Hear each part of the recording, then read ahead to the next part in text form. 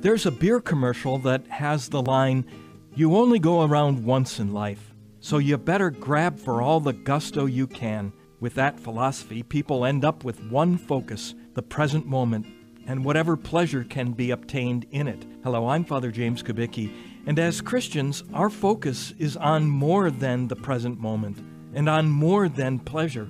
We know that this life isn't the only one, and that when our journey through life has come to an end, we will begin a new life that will last forever. We also believe, as we say in the Creed, that Jesus will come again in glory to judge the living and the dead. Advent is a time for us to prepare for that second coming of Jesus and for that judgment. Here's something that Pope Francis said about the attitude we should have during this time of preparation for Jesus' second coming. Quote, the time of waiting for Christ's arrival is the time he gives to us, to all of us, before his final coming with mercy and patience. It is a time of watchfulness, a time in which we must keep alight the lamps of faith, hope, and charity, a time in which to keep our heart open to goodness, beauty, and truth.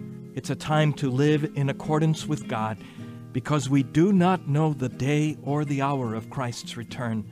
Dear brothers and sisters, may looking at the Last Judgment never frighten us. Rather, may it impel us to live the present better.